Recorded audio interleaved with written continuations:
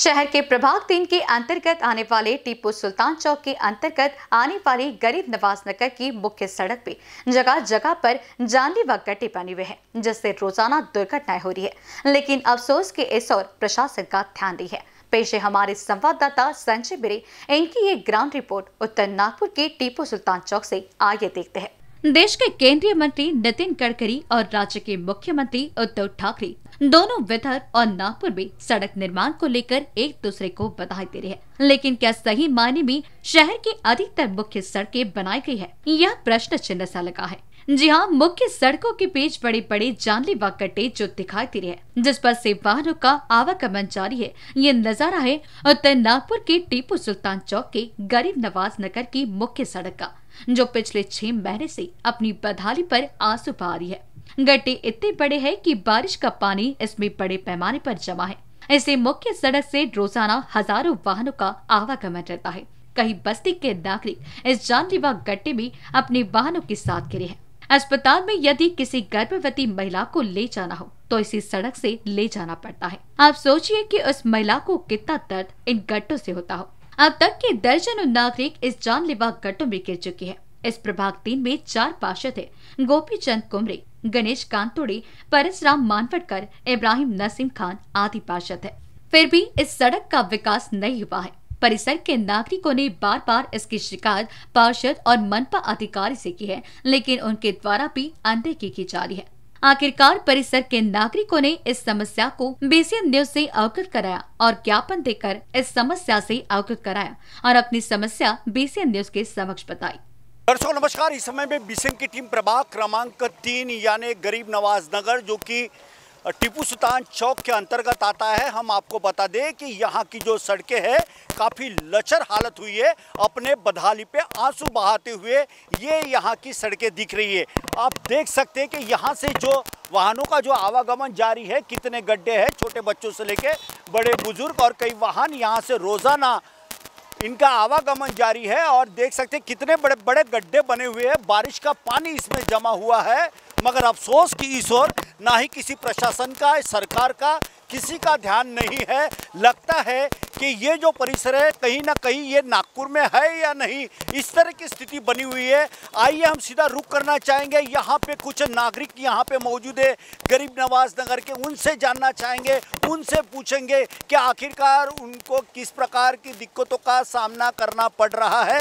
इस समय में कुछ नौजवान साथी उनसे बात करते हैं। सर, आप बताइए, ये कौन सा इलाका आता है क्या सही मायने में किन दिक्कतों का सामना करना पड़ता है? क्या तकलीफ़ है क्या सरकार से कहना चाहते हो आप?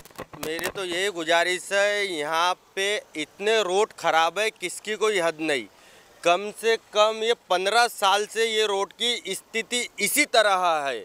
कम से कम मैं प्रशासन से यही गुजारिश चाहता हूँ कि कम से कम जल्द से जल्द ये रोड का तत्काल काम चालू किया जाए। और अभी एक हफ़्ता पहले यहाँ इतनी बुरी कंडीशन आई थी कि जो लेडीज़ डिलीवरी वाली जो पेशा लेडीज़ थी वो ऑटो में बैठी वंदीवी नगर चौक से वो ताजबग से आ रही थी तो इस रोड से वो गुजरी तो काफ़ी उसके पेट में इतनी तकलीफ़ हो गई और मेरे को तुरंत फ़ोन आया, बोले ऑटो वाले का, बोले शहजाद भाई, ये रोड से गुजर रही थी, वो लेडीज़ की बहुत ज़्यादा तबीयत ख़राब हो गई है तो मेरी प्रशासन से यही गुजारिश है, नितिन राउत साहब से भी मेरी यही गुजारिश है और नितिन गडकरी साहब से भी यही गुजारिश है कि जल्द से जल्द ये रोड का तत्काल काम आप चालू कराइए बस मैं यही विनंती करके अपने दो शब्द समाप्त करना चाहता हूँ। ये परेशानी तो काफ़ी दिन से यहाँ पे चालू है बट मैंने 2020 में, मैं लाला ससा ने, मैं 2020 में मैंने नितिन राव साहब जी को, यहाँ के पालक मंत्री और स्थानिक आमदार है, उनको मैंने 2020 को निवेदन दिया था। रोड उखड़ गया है और यहाँ पे रोड की आवश्यकता बहुत ज़रूरी है, यहाँ की पब्लिक बहुत परेशान हो चुकी है। और यहाँ दूसरी बात तो गडर में जो पानी आ रहा है उससे लोग पानी पी रहे नलों का। और यहाँ पे 25 साल से चैम्बर नहीं बन चुके हैं। आज मेरे प्रशासन को यही कहना चाहता हूँ कोरोना से तो एक तो परेशानी है ही है, पर लोग ये पानी से भी मरना चाहेंगे क्या? हाँ ये तपली का जो प्रभाग के अंदर है, आज हमारे प्रभाग के अंदर स्लम एरिया कहला जाता है। आज हमारे प्रभाग की जनता को लोन पास नहीं होता है। ये सारी चीज़ें हम क्या कर सकते हैं? सर ये बताएँ कि इस बारे में कभी आपने यहाँ के जो तीन तीन चार चार जो पार्षद है क्या उनसे इसकी शिकायत की है? पार्षद के तो बहुत बार मैंने शिकायत किया मैंने अभी भी मैंने चैम्बर के लिए मैंने उनको फंड मंगाओ एक फ़ाइल बनाओ चैम्बर के लिए। तो बोलते हाँ हो जाएगा हो जाएगा। पाँच साल से वही नाटक चालू है। यहाँ के प्रशासन कोई काम के है ही नहीं। जो काम करता है अच्छे के लिए और अच्छे इंसान के लिए काम करना चाहिए उन्होंने। और बाकी कोई दिक्कत ही नहीं है। कौन सा इलाका आता है? क्या गाँव ये एरिया उत्तर नागपुर में प्रभाग क्रमांक तीन, गरीब नवाज़ नगर से होते हुए टिपुलदान चौक और शिवाजी चौक को ये रोड जाता है।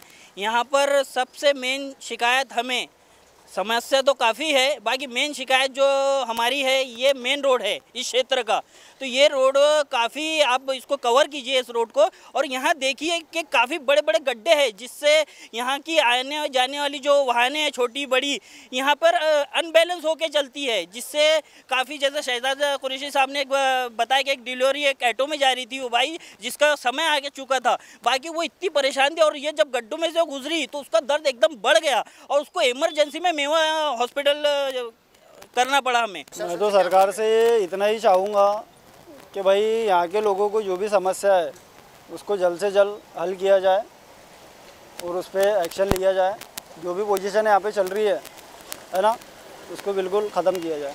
धन्यवाद। सर हम पालक मंत्री जी से अनुरोध करेंगे सिर्फ़ दो ही सवाल है। एक तो जो रिंग रोड है वहाँ पे सिग्नल बहुत ज़रूरी है। रोज रो, कोई ना कोई वहाँ मरते हैं। सिग्नल तो पहले ज़रूरी है। दूसरी बात ये रोड का तत्पुरता तुरंत तुरंत कैसा करना पेमेंट तो ही लगा दिया जाए। गड्ढे भरने का काम कल का कम से कम आपके माध्यम से कल के कम चालू हो जाना चाहिए। बस मैं इतना ही बोलना चाहूँगा दो ही सब ये रोड आज से नहीं बीस साल से ख़राब है। इसके लिए पालक मंत्री साहब को बहुत ज़रूरी है कि यहाँ रोड बनाए नहीं तो यहाँ की जनता पालक मंत्री के खिलाफ जाएँगी। ये चीज़ अगर उनको समझ में आए तो ये रोड को बहुत जल्दी से जल्दी बनाए। तो दर्शकों, देखा कि किस तरह की यहाँ की बदहाली हुई है और यहाँ की जो सड़कें हैं, काफ़ी लचर हालत हुई है। यहाँ से गुजरना बोले तो कब, किसे, कौन से अस्पताल में जाना पड़ेगा कौन सी हड्डी टूटेंगी, इसके बारे में कोई बता नहीं सकता। कई हादसे यहाँ पे हुए हैं, ऐसे यहाँ के नागरिकों ने बताया है। एक और, नागपुर स्वच्छ सुंदर है, नागपुर का विकास हो रहा है, अंडर ब्रिज बन रहा है बड़े बड़े उड़ान, पुल, फ्लाईओवर बन रहे हैं। लेकिन अफसोस कि कई जगह सीमेंट की सड़कें तक बन रही है, लेकिन पिछले 20 साल से ये यहाँ गरीब नवाज़ नगर का ये प्रमुख जो एक सड़क है, मार्ग है, इसमें इतने गड्ढे हुए हैं, लेकिन उसे कभी बनाया नहीं गया है। सीमेंट गिट्टी डालकर, बोल्डर डालकर इसको पूरी तरह से बंद करने का प्रयास भी नहीं किया, जिसके चलते इन गड्ढों के वजह से कई घटनाएँ रोज़ाना हो रही है। कई वाहन चालक, वाहन चलाते समय गिर रहे हैं तो वहीं छोटे बच्चे भी गिरते हुए नज़र आ रहे हैं। क्या प्रशासन इस ओर ध्यान देगा?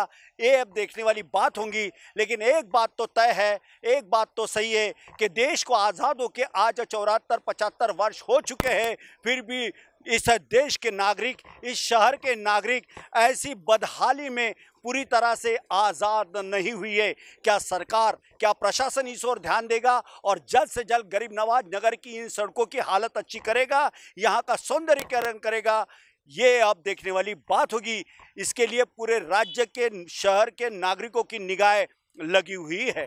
गरीब नवाज़ नगर से कैमरा पर्सन मिनाज खान के साथ संजय मीरे बीसीएन न्यूज़ नागपुर।